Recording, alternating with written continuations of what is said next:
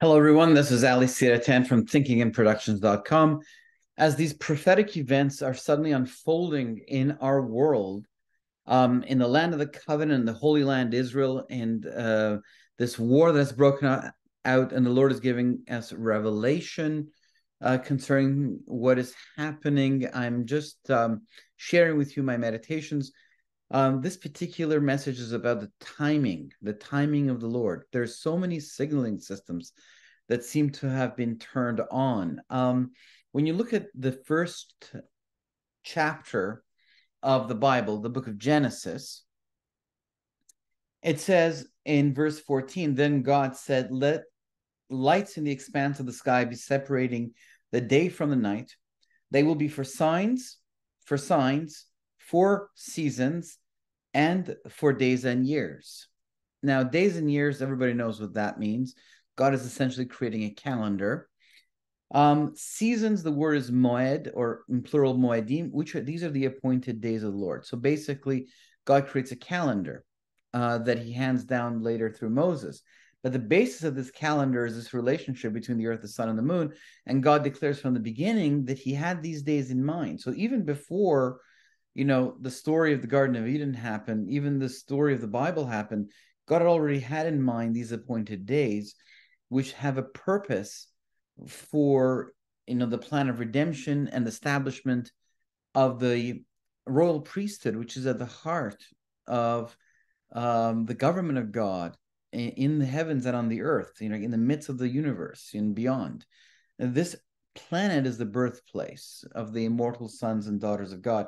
So the appointed days and for signs. What are the signs? Ot in Hebrew it means signaling. There's a signaling system, you know, like there was an eclipse when the Lord was lifted up on the tree of sacrifice. So there is this uh, idea that God sometimes uses the sun and the moon as a signaling system uh, to us, and we should pay attention to that as well as these appointed days. You know, everyone knows that um, the children of Israel left Egypt uh, on the night of the Passover. Uh, and later we know that this freedom from bondage, you know, the Lord was himself uh, crucified on the Passover. Uh, so we now know he was the Passover lamb. The appointed day came to life once again and had this deeply spiritual significance, you know, uh, lifting up the cup of the wine. He was in the tomb during the Feast of Unleavened Bread, uh, the second day of this seven day feast. The Passover is a seven day feast the the feast of unleavened bread, and then he was in uh, rose from the dead on the third day of it, the feast of first fruits, and that's why Paul says he's the first fruit risen from the dead.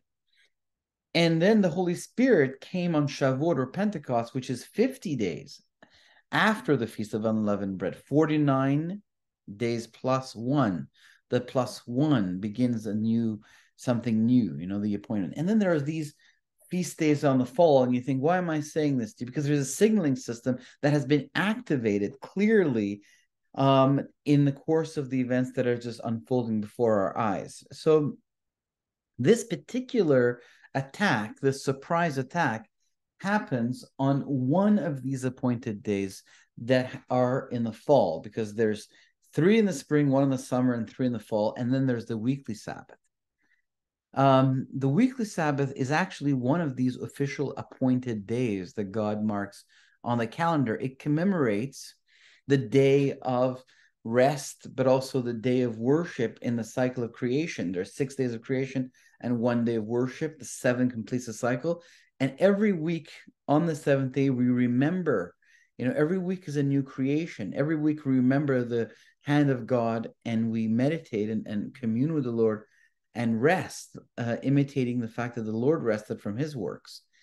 And so this day is the Sabbath is is everything has more to it, right? Than than it has this spiritual meaning for the person who's living these things, but it also has a meaning in God's um, uh, creation because you know history is His story. He's creating something on this planet, um, and and this is part of the story as He invites us to understand it and gives us uh, the kind of the times and seasons of it. The Sabbath represents also um, the millennial reign of the Messiah. It's the Sabbath of history, right? There is these stages, these years of history, and then there's the final 1,000 year rule, the Sabbath of history. It represents um, the end of the cycle of, of blood sacrifice, of transgression, of law, as we have the Sabbath uh, of our souls, you know, in in uh, in the Messiah, as we are forgiven once and for all, and washed clean and redeemed and set right before God. So this, the weekly Sabbath is important. It's one of the appointed days of God. Now, this particular attack happened happened on the weekly Sabbath, right? It happened on one of the appointed days of God. It was October 7th, right? It was a Saturday. Now, October 7th wasn't just any Saturday. When you look at the fall feasts, the fall appointed days of God, which have to do with the second coming, since the spring ones were uh, activated during the first coming, the, the, the fall days, this one happened on the eighth day of the final biblical feast. So the one they start with Passover in the spring, and coming into the fall, they end with the Feast of Tabernacle, known in Hebrew as Sukkot. This is one of the appointed days of God. And if you think this doesn't matter anymore, have you noticed that according to the prophet Zechariah, the millennial reign of the Messiah begins on Sukkot, begins on this Feast of Tabernacle, right? It, it says, then in Zechariah chapter 14, verse 16, and all the survivors from all the nations that attacked Jerusalem will go up from year to year to worship the King Adonai Tzvaot, the Lord of heaven's armies, and to celebrate tabernacles, to celebrate Sukkot. Every year, people will go up for a thousand years to celebrate Sukkot, to celebrate tabernacle. So this Old Testament Torah feast is still active in the millennial kingdom that's ahead of us.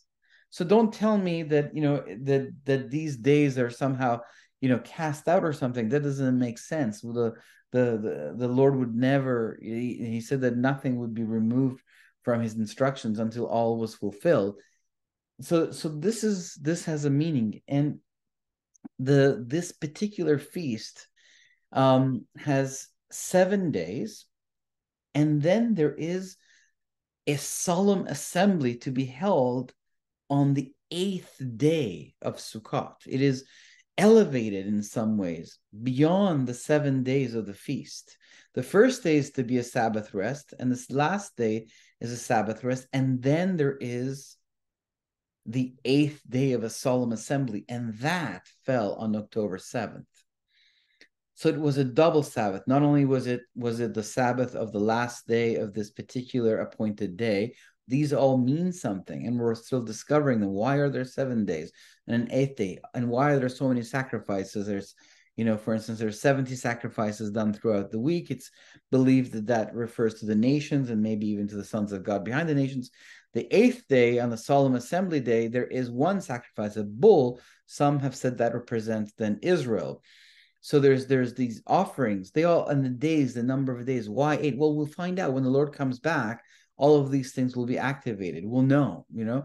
So on the very last day of this particular uh, appointed day, we, so the Lord says in Leviticus 23. So on the fifteenth day, of the seventh month, which fell on September 29, when you have gathered in the fruits of the land, you are to keep the feast of the Lord for seven days.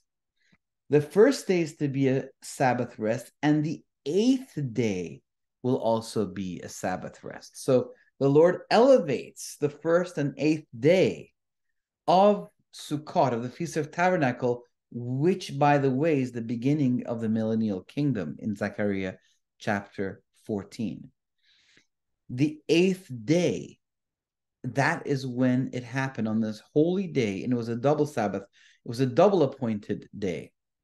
It was first the weekly Sabbath, that's an appointed day of the Lord. It has meaning. God selected it. It's not just like, you know, a day of rest. It has it has meaning on multi multiple levels in the work of God and the mystery of God, both internally and externally on the pages of history. And then the eighth day of this particular appointed day, October 7th, that's when it happened. Now, it just so happens that October 7th was the anniversary of a war that happened on another appointed day, the Yom Kippur War in 1973.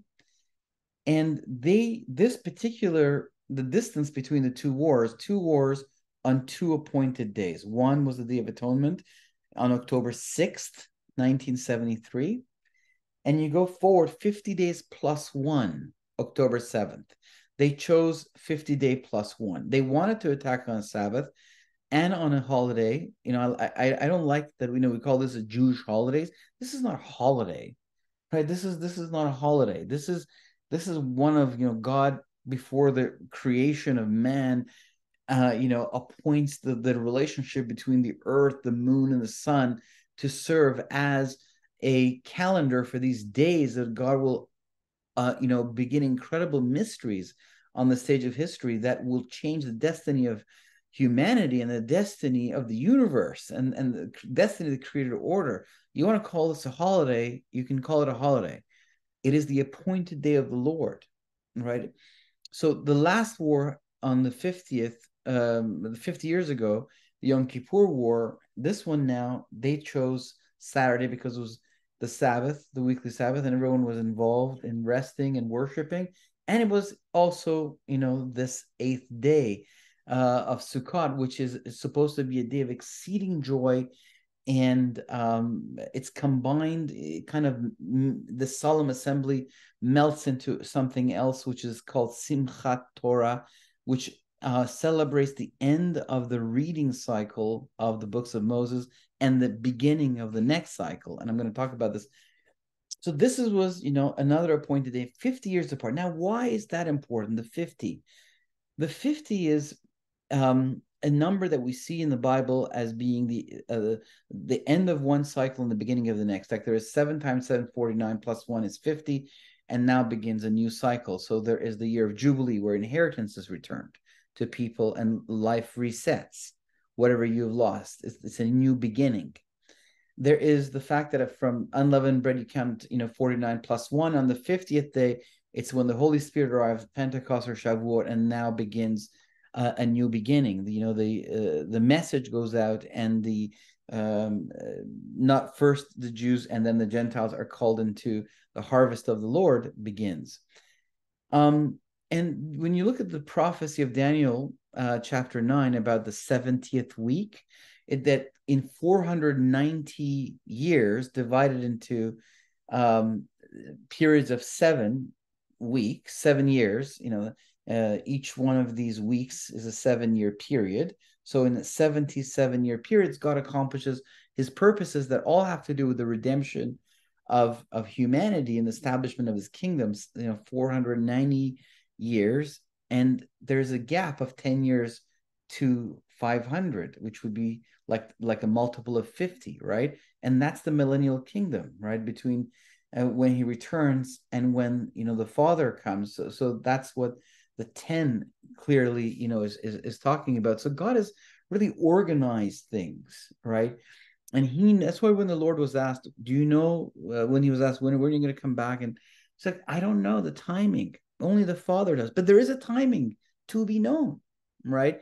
And these appointed days are used as a way of communicating to us the intentions of God, the mystery, the secret behind, you know, a worldly events. There, there is there is something here. So the 50 says to me that, you know, the, whatever the consequence of the Yom Kippur War, the 1973 war, that ended the war with the Arab world. No Arab coalition of countries ever attacked after 1973 you know, they organized in 1967, you know, in 1956 there was a war, but 1948, but 1948, 67, 73, the three big wars of the Arab world, there was this coalition of nations organized with the Soviet Union behind them to attack. 1973 ended that. There were no more. You know, there were skirmishes. There was, you know, with Lebanon, there were skirmishes with uh, West Bank, with Gaza, but there were just skirmishes. And there was also a peace, as armistice signed with the greatest Arab nation, uh, the greatest Arab power, which was Egypt at that time, as a result of the Yom Kippur of 1973. So there was a prolonged period of peace that followed the, the war that happened 50 days ago on an appointed day. And that led to, you know, Israel prospering. Um, it led to a lot of lot of events that happened in the Middle East. But but that was really for Israel a time of peace and prosperity going from 1973 all the way um, to to this day. It's a rough neighborhood, so when you're there, you're kind of more used to skirmishes and things like that. You kind of grow a bit of a tougher skin living in that environment. But there was no more of these wars like the one we're witnessing suddenly today. But when the 50 years were over, 50 years plus one, boom, suddenly we see, you know, something got activated.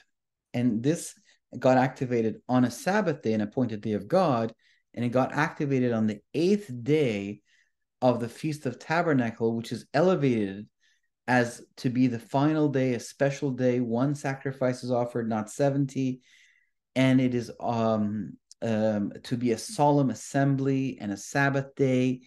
Um, so it's a it's it means something. You know, we're going to find out when the Lord comes what it means. Perhaps that is the day that His kingdom begins. You know, we'll we'll, we'll see. I don't want to you know speak for the Lord without knowing, but I can see that it means something, right? And that was fifty plus one. So we've got this appointed day uh, signaling system that has been turned on. This war occurred on such an appointed day, like the last one which was very significant, right? So that's one signal. There's the Sabbath, that's an, an appointed day, that's not a signal. There is the 50, this number, right, which is um, another signal that has been turned on. And when I look at, for instance, um, is there a theme running through all of this? Um, for me, the theme seems to be that of a new beginning, because when you look at, for instance, uh, this Feast of Tabernacle, it's the feast of the ingathering of the harvest. You plant a seed, it grows, and you harvest it. That's the harvest of the faithful. That's why the millennial kingdom begins.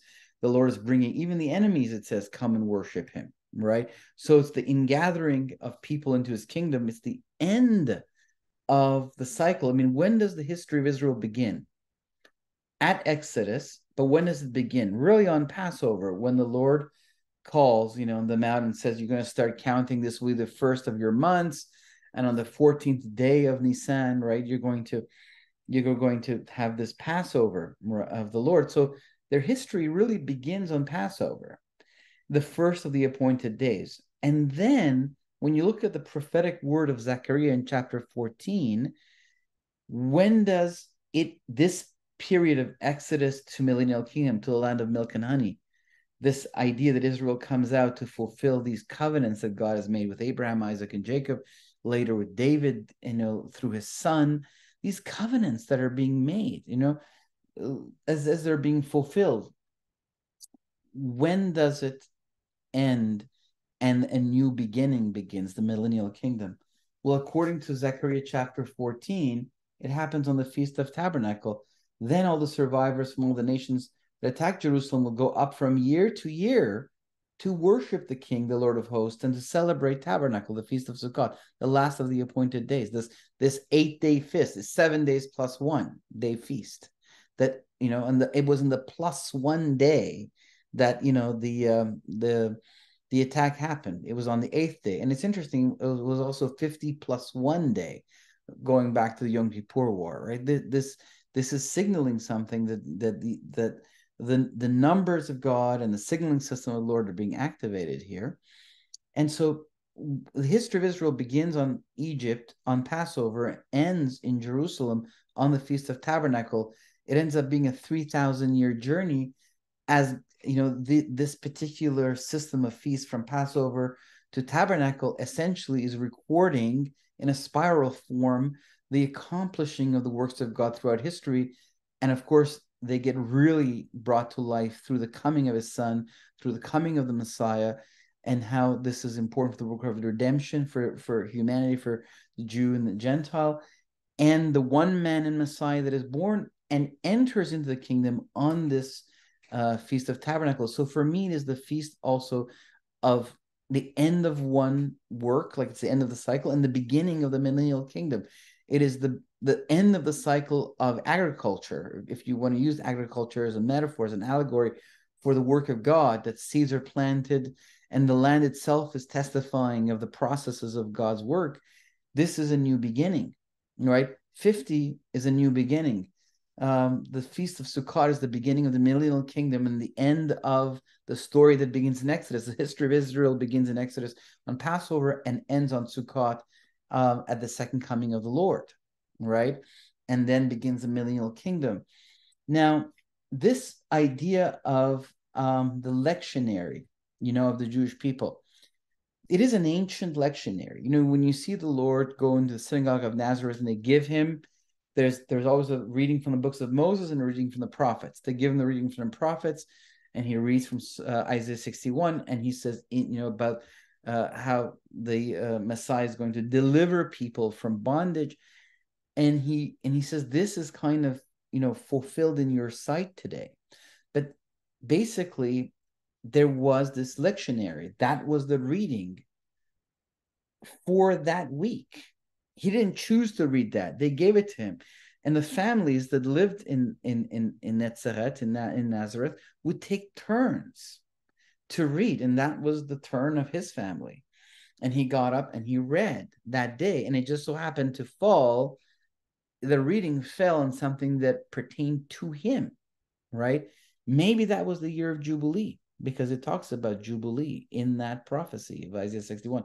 And perhaps that was him declaring the freedom because that's what jubilee is it's freedom from bondage and re- the return of inheritance so so that is it's possible again you know these these days of the lord so the, what's interesting is that this ancient lectionary of the jewish people also on this weekend of this attack october 7th and 8th ends and immediately begins like they read the last they read the in the end of Deuteronomy and then they be, they read the beginning of Genesis. So what happens is that it shows again the end of one cycle and the beginning of next. It's a new beginning.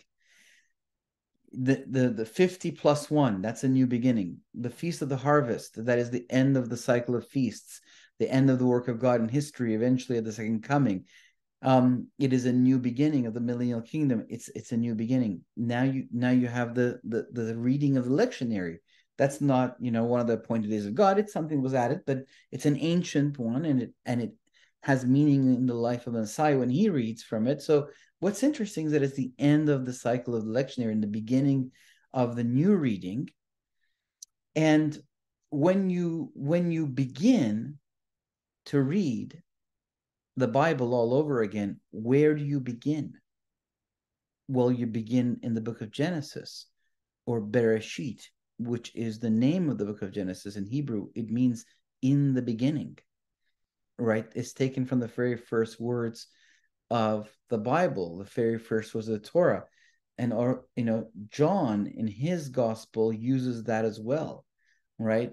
So he, you know, in the beginning, saying that basically equating God the creator with with with God the Son, right?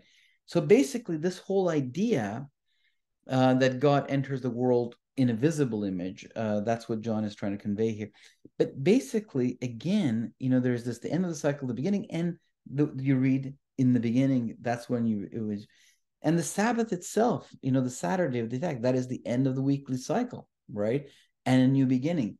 So when I look at um, the signaling system, whether it's the fact that um, when I go deeper into okay, well, we now know it's an appointed day, but what else do we see here? I see new beginning, right? This is a new beginning. God is going to do something new. There's a new beginning here. And what, as they kind of start to ponder, you know, how they should respond to this whole thing, um, there's a, you know, there's, they're going to actually attack and then there's a delay. We don't really know. I mean, you know, in the fog of war, you can't really believe anything like why did they delay? there's reasons whether it was the weather, there was this, but really, who knows? We don't, they're not going to tell us, right? It's a war. But there's a delay, and and suddenly another one of God's appointed times in the Bible activates in, in the midst of this delay. And that is the new moon, Rosh Chodesh. So when God gives us this calendar that you know encodes his prophetic intentions, um, you have to be able to count it. So what's the first day of the month? How do you do that? Well, it's going to be the new moon. So, you know, the moon waxes and wanes.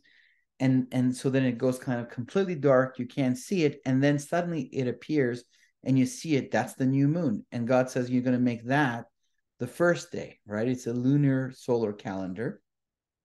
And there are sacrifices to be offered at the temple on that day. It's as though the month is being dedicated as holy to god. And um in in this cycle of months then there's like on on on you know on the 15th day of the seventh month you're going to do the, the beginning of the Feast of Tabernacle. So now you have a way of calculating it, but the new moon appears. Um, on Saturday, October 14th at nightfall to Monday, October 16th, you know, because they take two days because depending on whether you live in Israel or in the diaspora, they, but that becomes the, the, the period of the new moon, right? So another one appears suddenly, but that then propels Israel into a new month, a new beginning appears again. And that is the month of Cheshvan. That is the month we're in right now. Which month is that? The eighth month. Now, this the we got the eighth day of the Feast of Tabernacle. Eight is a new beginning because seven is a complete cycle. Eight is a new beginning. You know, you're circumcised on the eighth day. Apparently, if you take Lord Jesus Christ in Greek, and and you know that every greek word is also a number. It spells 888 so 8 is a new beginning right? No yeshua hamashiach is is a new beginning.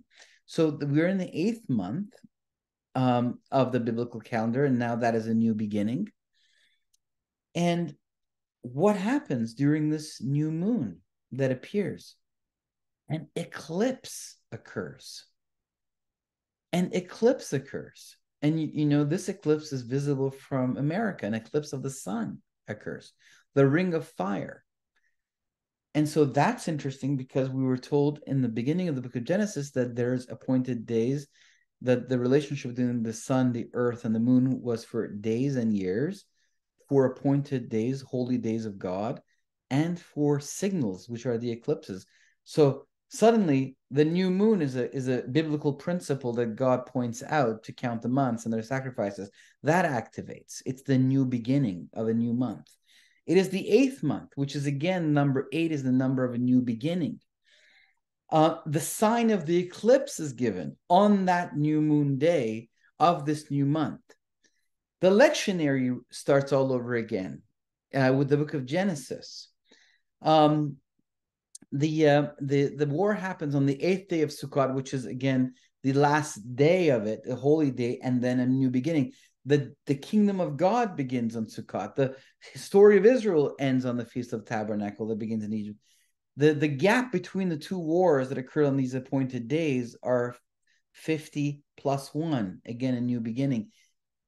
And then when you look at this week that we find ourselves in right now, right now is October 17th, and now we with the lectionary of the jewish people have started again. And and where are we now in this lectionary? Um so if you look at it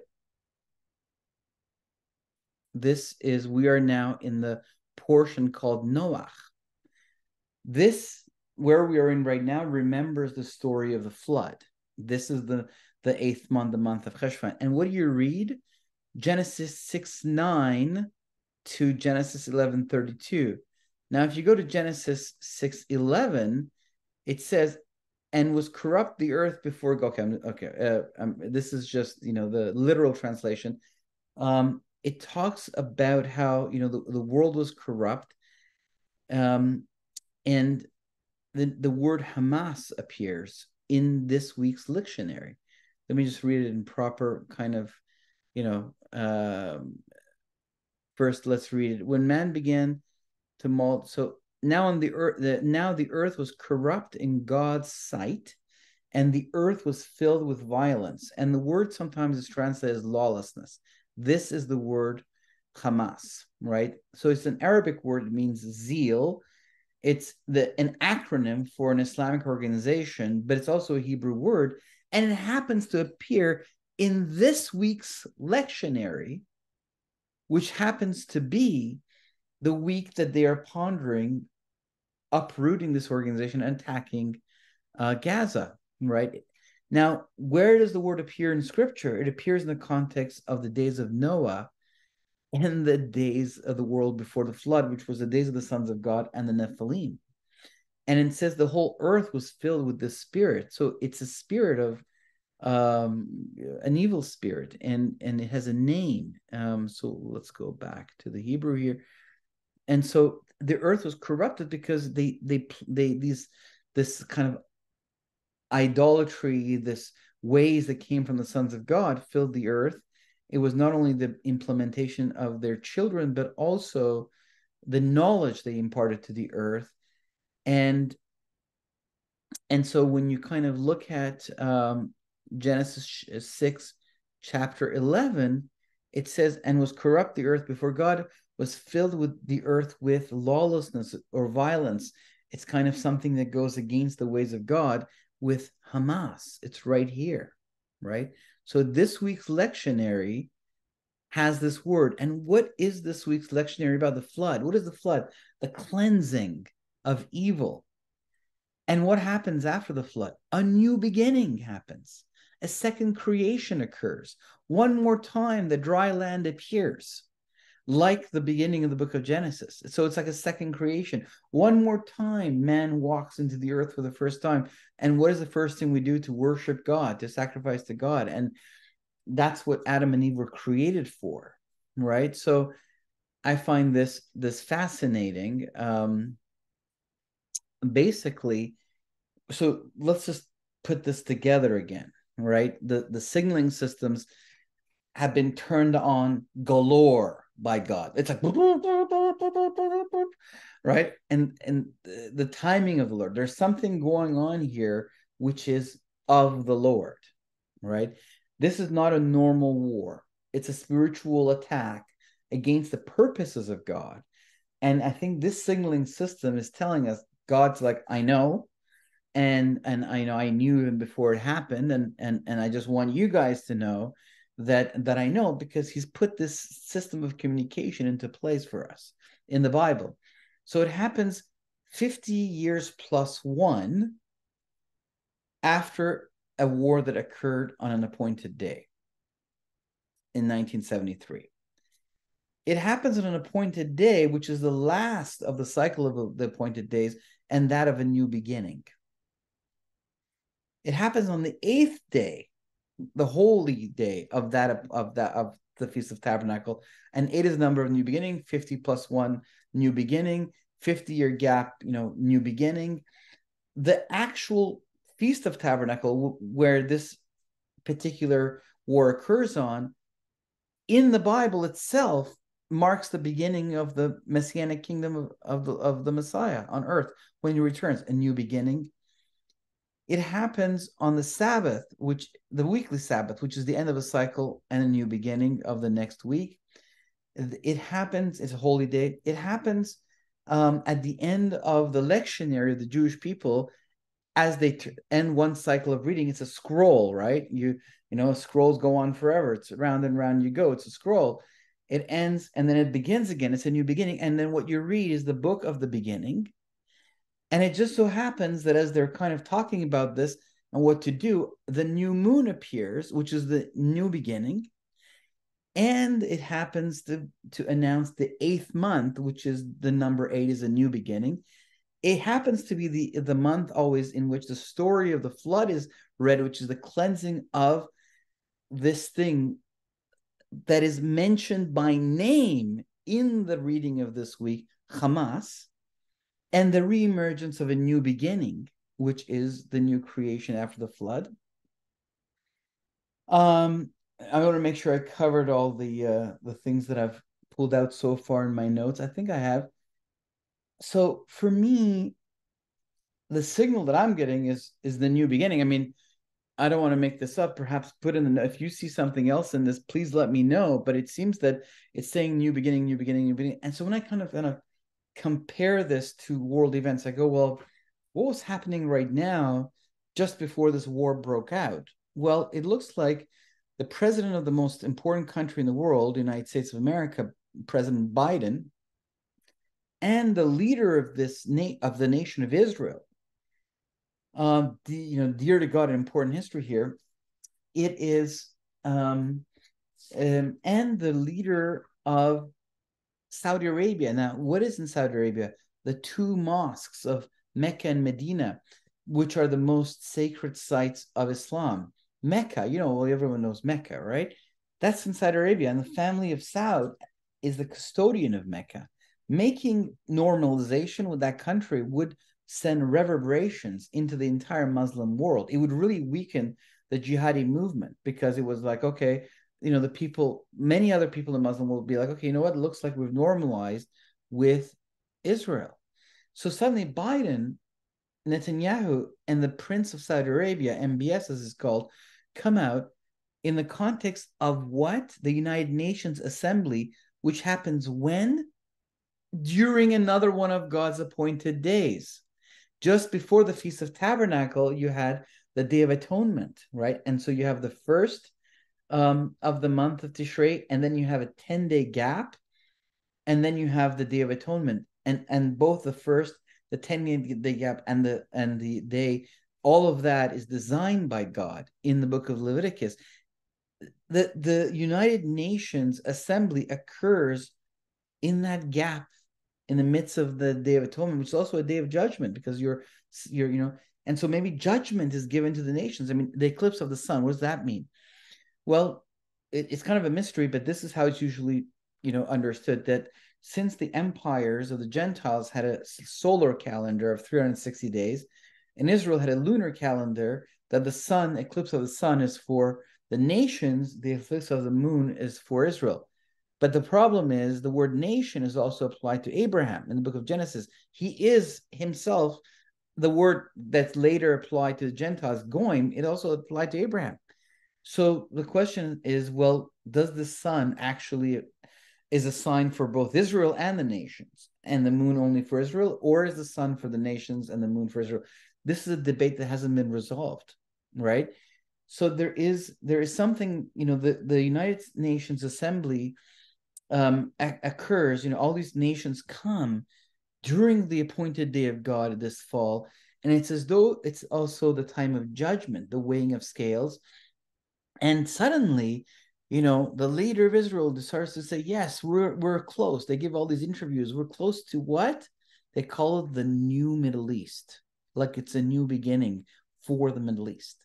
They're about to do it. That both the leader of Saudi Arabia makes a uh, you know think um, an interview with Fox uh, net, uh, television. So does the leader of Israel and the president of the United States they they all announce that they're very close, and eventually they give it the name the New Middle East. Actually, I had an article. Um, I had Googled it. Uh, uh, you know, sometimes I I prepare things and I do research and research, and then uh, it gets lost. But if you just Google New, uh, New Middle East, you'll get you know New York Times is an article, uh, and and so it's like wow, this is important. They're about to announce a new Middle East, right?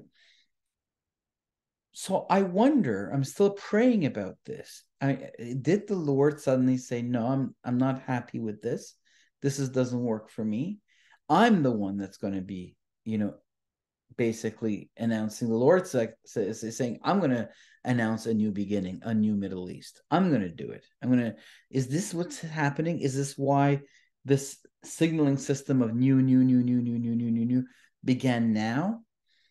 And uh, of a new beginning? I don't know. I'm still praying and meditating about this.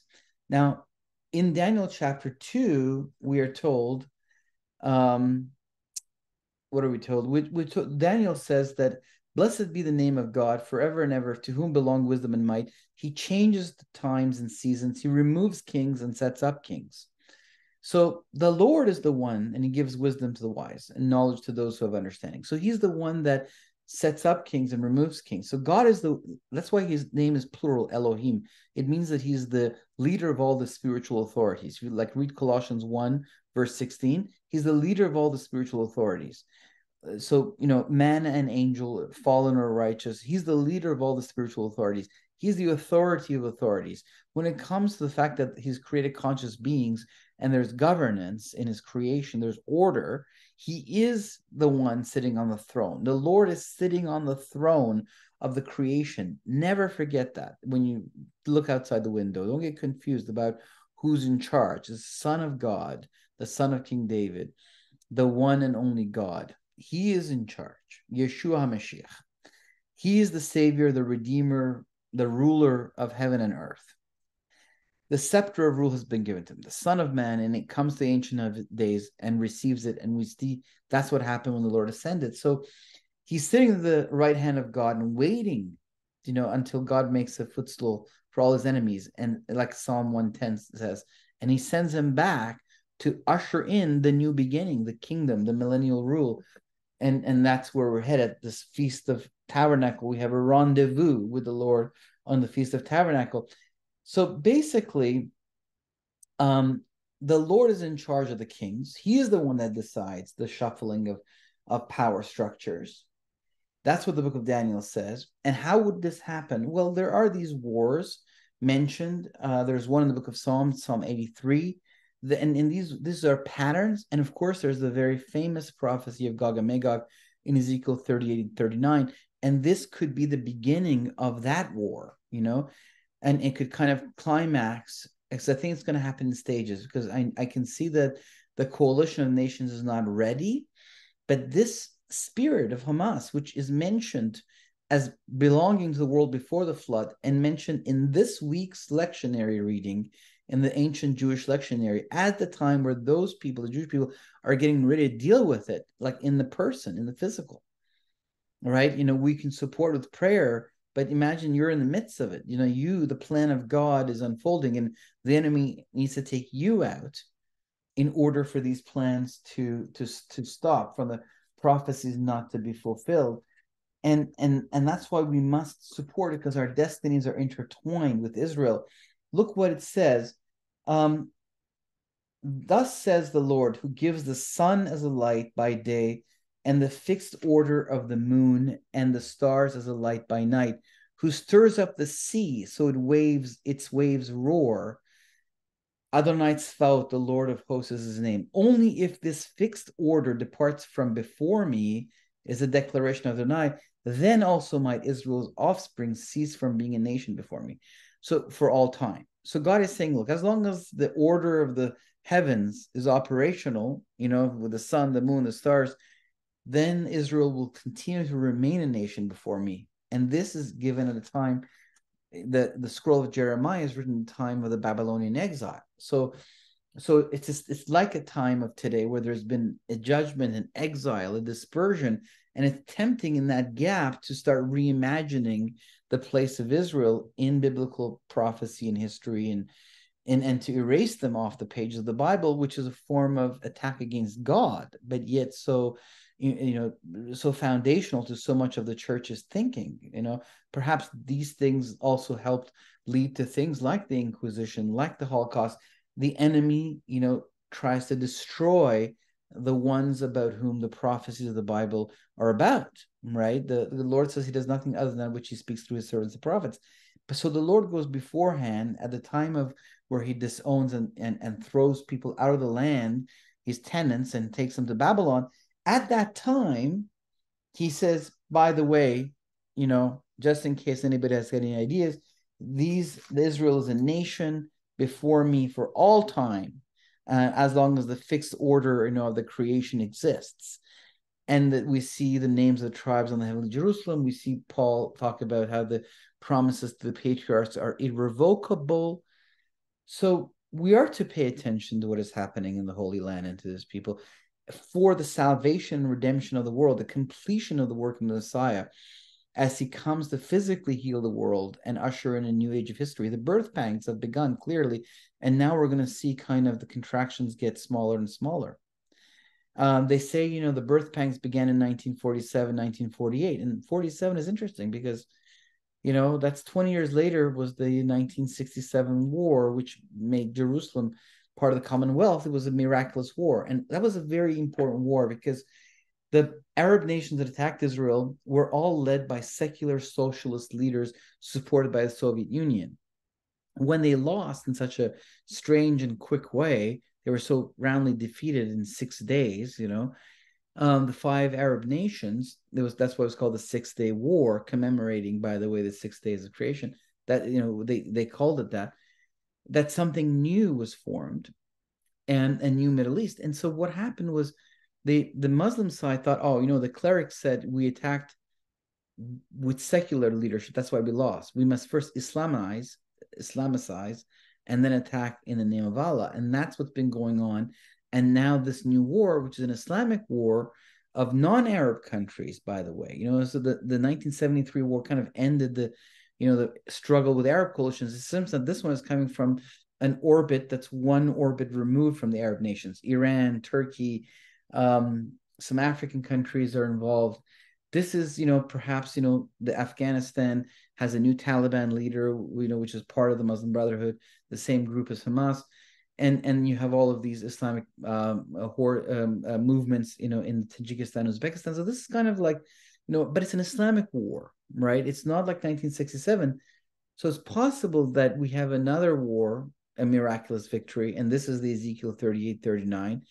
And these guys come, and when they're defeated, their ideology ceases to exist because they realize everyone realizes God was with Israel. All the religious people in the Middle East realize God was with Israel, right? So I find it interesting. Um, if that's the case, then maybe it'll happen like 1947 led to 1967.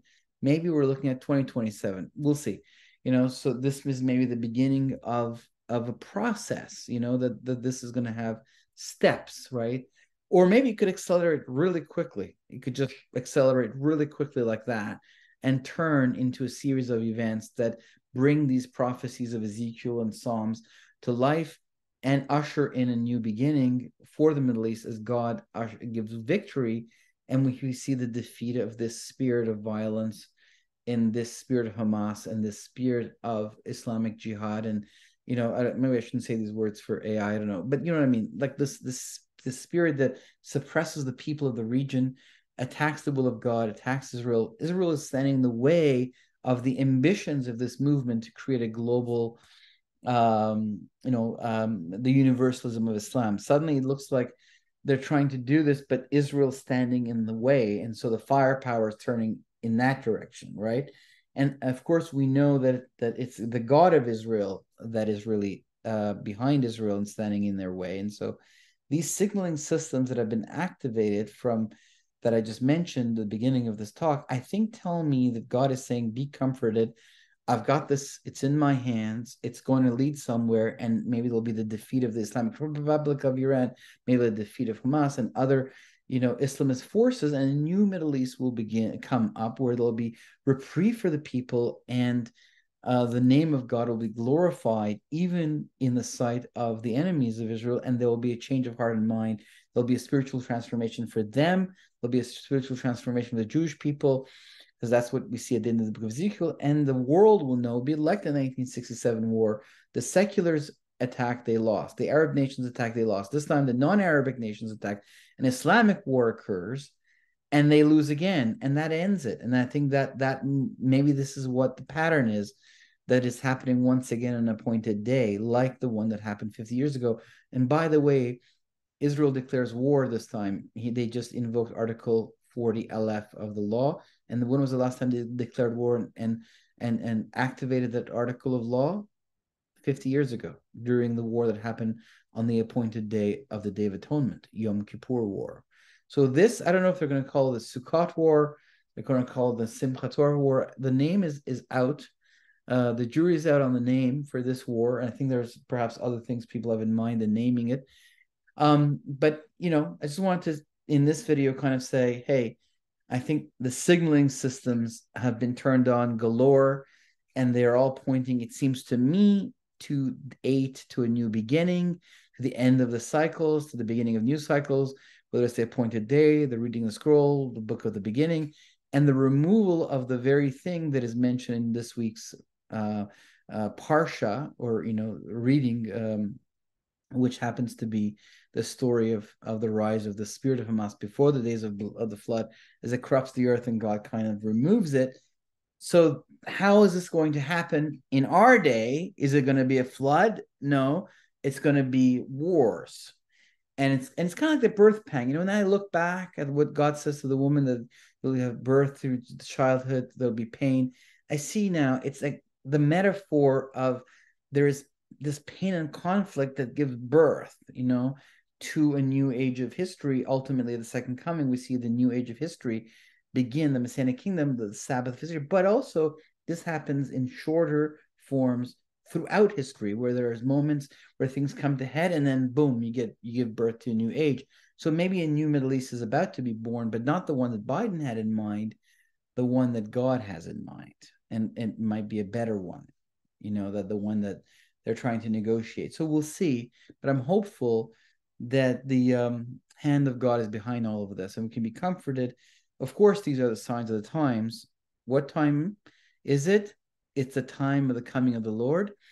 And we know that we have to make sure that we live our lives in connection with that, our, our identity in the larger understanding of who God is, and the fact that He sits on the throne and we're in a great story moving forward.